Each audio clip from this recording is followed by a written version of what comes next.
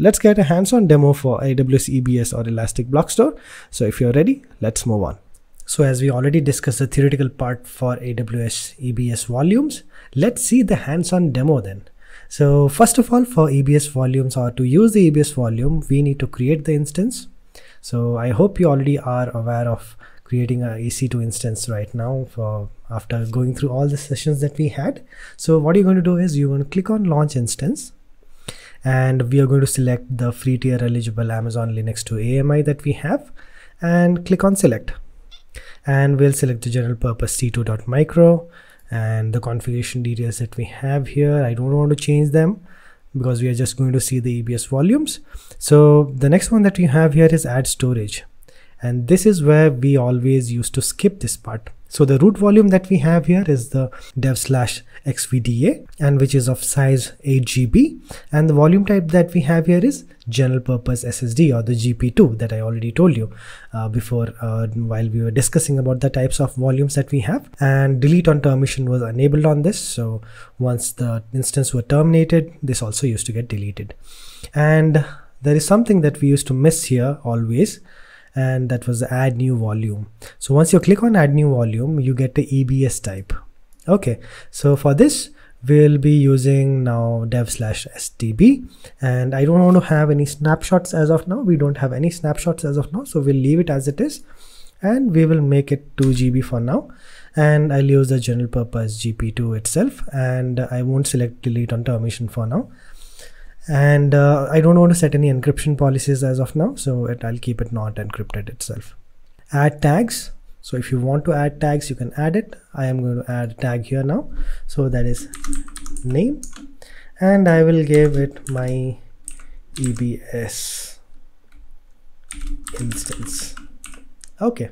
So I've given the name. The value also I have given it EBS instance my EBS instance and then configure security details or the security groups.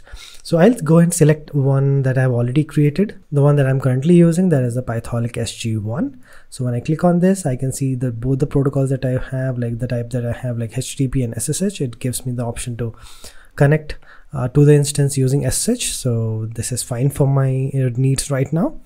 And review and launch so here we have selected the Amazon Linux 2 AMI, the instance type is t2.micro, the security group is Pythoholic SG1 for SSH and HTTP. The storage, here you can see we have the root volume, dev xvda and the EBS volume of 2 GB that we have attached.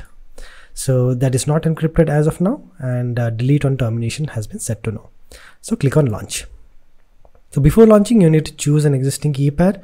I already have a key pair, so I'll just acknowledge that I already have one and click on launch instance.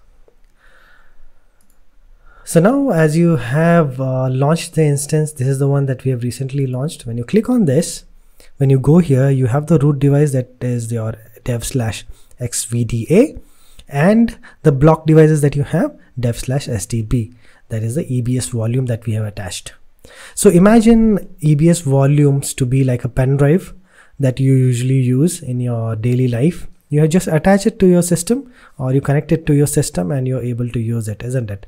So it's just like that. It's a network drive that you have attached and that's how it works. Uh, so we'll go to the instance and we'll connect to the instance right now and we'll see how to actually mount it and how to actually make use of it. I'll copy the IP address that I have, the public IP and I'll connect to the machine using SSH. So to connect to the instance, what I'm going to do is I'm going to just type SSH EC2 hyphen user at the rate the IP address obviously and then hyphen i and I'll just give ec2.pemkey path. Okay. I'll just keep it under quotes. Okay. And I'll just hit enter. Click on uh, just press yes and then you are just connected. So the first thing that you need to do is you need to check the path for all the drives that you have. So lsblk is one of the commands that help you to check that. So now that you have here is the 8 GB one that we had is the XVDA and the 2 GB, the EBS volume that we had is XVDB. The first thing that we're going to do is we are going to create a file system out of it. So basically when you were using a new hard drive, you have created the partitions. What used to happen, you were not able to use it until and unless you had formatted that with a particular file system, isn't it? Let's suppose you're working on Windows and you had made a partition for three or four partitions and uh, in your C drive, you have already installed the operating system and the D drive, which was not formatted, you were not able to use it. So it used to ask to format it. You used to, I think, format it using FAT format or the NTFS that we had. And here also we'll do the same so that we can make use of it. The disk that you have here, the XVDB, is the EBS volume that we had attached to the 2 GB one. Okay, to do that, we need to follow some simple steps and those simple steps are already given by AWS and uh, that is what we are going to follow right now. So I have the URL already open for us and uh, this is the one that you're going to follow. So format and mount an attached volume. So with LSBLK, we have seen the, the type of uh, volumes that we have. So what we're going to do first is we are going to check whether there is any file system attached to our particular volume that we had. So for that, what you need to do is you need to type sudo file hyphen s and slash dev slash xvdb. Okay, and press enter. So if you get something like this slash dev slash xvdb data, that means that you don't have any file system attached to this particular volume. Uh, so to attach a particular volume, what you need to do is follow the simple steps now. So uh, what you need to do is you need to create a file system. So sudo mkfs or make file system hyphen t I'm going to use ext4 here because that is one of my favorite file systems and uh, dev slash xvdb okay so just hit enter. So if you see this output then uh, basically uh, you are all good. You already have created a file system and if I go back and run the same command again yes we have the file system ready. Linux revision 1 ext4 file system data. And it also gives a uid for basically mounting it later on. So after that once you have created this file system and you have the volume ready you can mount it to a particular directory that you want. So what we are going to do is we are going to create a folder mkdir slash data so I'm going to create this folder data and I'm going to mount slash dev slash xvdb onto slash data. So what, so how to do it? Just type sudo mount slash dev slash slash xvdb and mount it to data.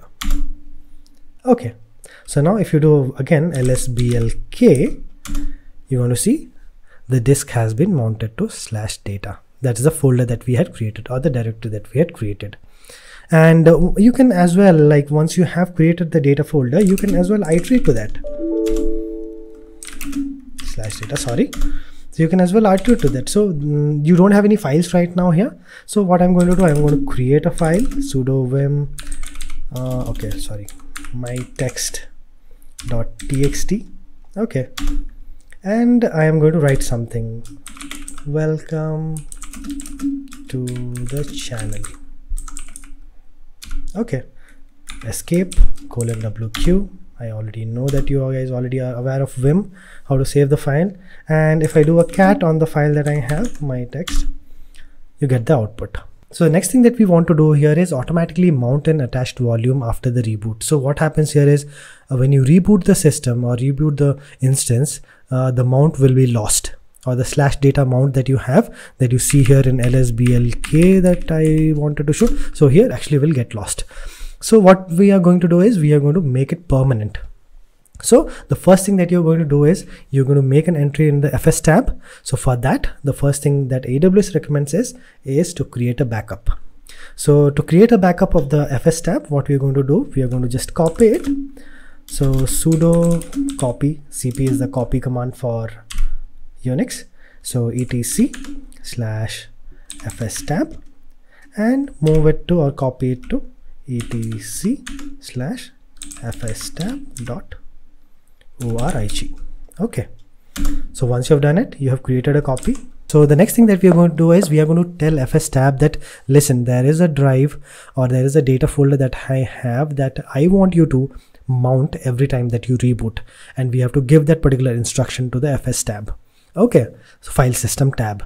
Okay so what we're going to do is we are going to add an entry of our newly created mount point on the fs tab file. So for that we just need to go to the sudo vim slash et. We're going to edit it fs tab fs tab. Okay so this is basically how the fstab file system looks like.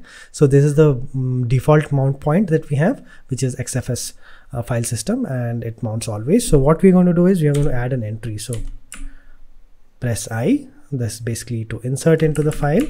And the next thing that you need to do is slash dev slash xvdb okay.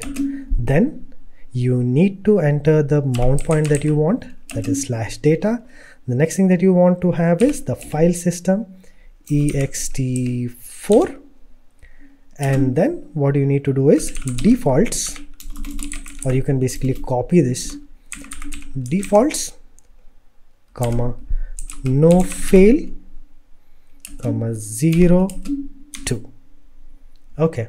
So this will help you to so this will help you have the mount point always there once you reboot the instance. So that's it. Uh, i'm just going to save this file now. That's it and i'm going to unmount this so now again i just want to tell you lsblk okay this slash data we are going to unmount this so to do that sudo umount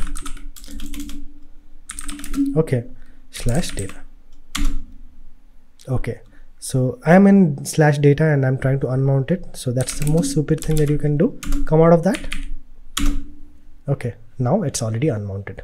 So if I type again lsblk, now this is already unmounted.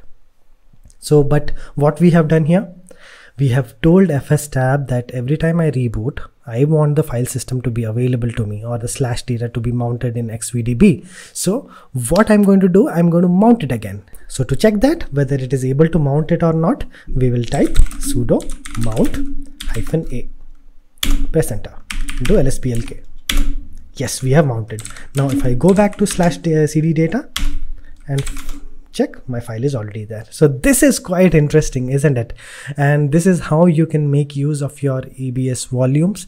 And this is really really important for the exam point of view i will make the link available to you guys in the description below for the documentation as well so you can give it a try. So but and one thing you need to remember is for ec2 instances that we have and the free tier eligibility that you have here 30 gb of space of EBS volume is available for use for the free tier account. So it's a free tier account. You can go ahead and create your own and use EBS volumes as well. So let's move on.